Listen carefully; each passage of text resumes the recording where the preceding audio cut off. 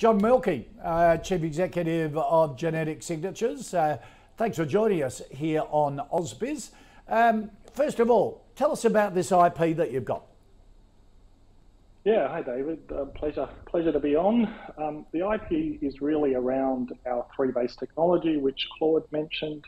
I should just start by saying we're a technology company. Genetic Signatures invests in technology. We're focusing on infectious diseases.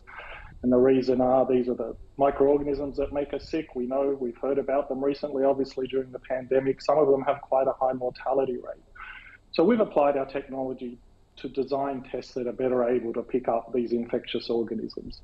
So our technology, our three-base technology, is a molecular technology, and that's really important because that's considered the gold standard when you're looking for um, infectious diseases. Because, and all that means is that we're looking directly for the DNA or the RNA of the organism.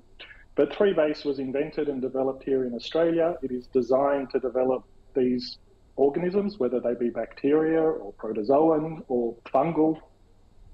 And the real key is that our 3Base technology is not affected by most mutations that occur. And I guess we're all familiar with the variants that we're hearing now about SARS-CoV-2. So our technology is, is less susceptible to that. Hmm. But moreover, they allow us to make test kits which are low cost, which are accurate, uh, and we all and we do that because you know if you if you're better able to detect it, if you more accurately can detect an organism or more quickly detect an organism, you're better able to uh, administer treatment or in fact begin yeah. isolation to stop the spread of that organism. So, so is Luke Winchester right that that COVID gave you an opportunity to actually and and your testing during COVID um, to really test your platform, to present it to the market, but say, hey, it's not just for COVID. Um, we can do all these other things. So it was, it's COVID, for one of a better description, has been a great marketing tool for you. He was he was very accurate. So the, we are in expansion phase. Genetic Signatures is taking our significant homegrown success and we're exporting that now, particularly focused in Europe and the US. We're underway there with teams there and customers there using our kits every single day. We have quadrupled more now the number of instruments, genetic signatures branded instruments that we have in the field, and that is correct. That was on the back of the pandemic. So we were able to gain new customers for our COVID product. As a company, we were very quick to develop a, a, test for COVID and get regulatory approvals for that in Europe and Australia and roll that out, winning new customers along the way. But you're right, there's much more to it. So we specialize in what we call syndromic tests. So the person who has the sore throat and the runny nose could have COVID, but they could have any number of other things, and some of them are significant. They still have a mortality rate like influenza. So the test kits that we produce can look for 20 odd targets, whether they be for mm-hmm. respiratory infections or enteric infections. So the patient goes away with having a diagnosis, not just you don't have this one particular organ. Right. So the pandemic allowed us to expand our customer base with our own equipment that we've developed again here in Australia. And these kits that we had before the pandemic are really now well placed to leverage off that increased customer base that we have. So um, a great example is your three-year deal with uh, um, with the health service in Wales. That's a great example, and it's a really good example for a number of reasons. One, it speaks to the technology, and at the time they said we won that contract because of our flexibility, and that in part comes from 3Base. We also won that because of our throughput. So we have implemented our technology in a high throughput capacity. So we're targeting labs that can do for COVID 10,000 samples a day. We're able, we are able to do that. The really significant thing about Wales, though, it's not for respiratory testing; it's for enteric testing. And this is a product that we've had for more than seven years. So it's something that it was actually our most mature product, and it's what we brought to market some time ago. So it's showing how the pandemic uh, increased our exposure, particularly overseas, and we're now winning contracts that aren't just respiratory, but some of our older kits. And importantly, we have seven kits coming for other indications, whether that's for sexually transmitted infections or for um, for antibiotic resistance. Uh, there, there, are seven more kits coming, which right. will all be revenue generating for the company. And importantly, they all work in exactly the same way. So if that lab in Wales wanted to introduce another one of our tests, they're effectively already trained.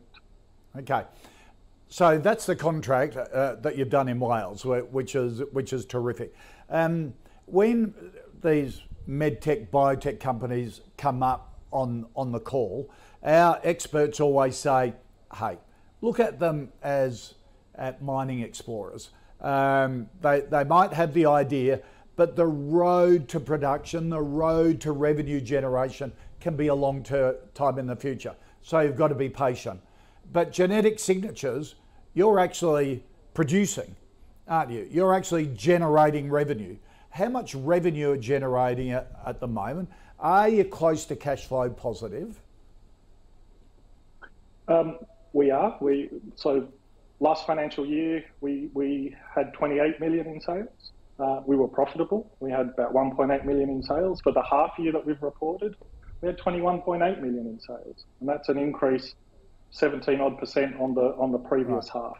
That half was profitable um, to the yep. 4.7 million just in the half, first half of this year. We were cash flow, cash inflows of about 7 million. So I think we really do have a proven business model. Yes. And that's really important for investors, as you said, that want to explore the thesis. I think we have proven that business model and we have lots of opportunities in front of us as we enter those overseas markets that we're focused on, particularly Europe and the US. Yep. Um, question from Luke Winchester was the lumpiness of the revenue. First half seems to be better than the second half. Why is that? Um, I think I think Claude had it right. There was a little bit of COVID revenue. We, we know in particular the two Christmases that have passed had um, yeah. some outbreaks locally, uh, and that did contribute to revenue. It's also um, there is some seasonality what we do traditionally. There is seasonality. Obviously, we know about the winter period is is um, is is abundant for respiratory infections. So we do see a little bit of seasonality. But the seasonality that you're talking about came from really focusing on COVID only testing. And as we transition out of that, we are replacing COVID only testing with multiplexed or looking for a, a, broad range of organisms from that one patient right. sample, effectively, effectively the one test. Yep. So you've got the tests that have had traction, the COVID tests. You've got these other tests that are starting to earn revenue that have been around for seven years, as you explained, like the um, health um, department in Wales has taken up, and you're saying you've got another seven coming this year. That's correct. And we've quadrupled, as I said, the quadrupled the number of instruments that we have in the field. So these are the instruments that allow us to achieve very efficient workflows, high throughput workflows, allowing customers to do hundreds and, if not thousands, of patient samples every momentum. single day really good momentum. So, where did technology uh, that you've developed? Where's it come from? Where's it? Where? What's all your background? It was developed, as I said, in Australia. It was developed in genetic signatures. It's it's a proprietary technology of ours. People think we're a new company, David. Perhaps this speaks to your point before about the time to get to revenue. We're actually over 20 years old. We've been listed on the stock market for seven years, so we have a deep history. And that technology was developed more than 10 years ago. So that's why we've been able to develop these kits, what we call syndromic kits, that look for a large number of organisms along our journey.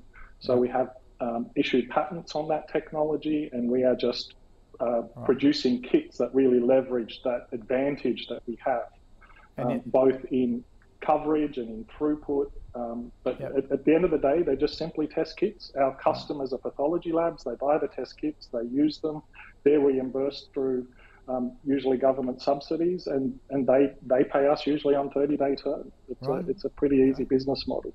Yeah. FDA approval you're trying to get through at the moment. What stage is that up to? So we've, we've, we've told the market we're putting our first product through FDA, and we have nominated um, that to be our enteric protozoan kit. So this looks for stomach infections or gastroenteritis, which is caused by protozoan targets. That is our first kit because we've identified a gap in the market. So the traditional method of doing that is looking down a microscope and trying to identify these protozoan cysts in, in, under the microscope. We, we have a molecular test, as I said, and we can look for eight targets. And that is um, five more than the closest competitor. So we are hoping to displace the traditional method or at least um, rely on molecular methods much more than they have been in the mm. States. We're currently in the clinical trial stage, and that trial is being wrapped up uh, in the coming weeks. We then have some work to do to look at discrepant analysis between the, the, the what we call the predicate device, and then we, we submit that to the FDA. And once cleared, we're, um, we're cleared for marketing that in the US. And we do know there's about five and a half million of these tests that are done every year in the US, the traditional tests. Um, and we, we, we believe uh, we, we have filled an unmet need. We are aiming to win 40% of that market um, in, the, in, the, in the first five years post release. Wow. Okay.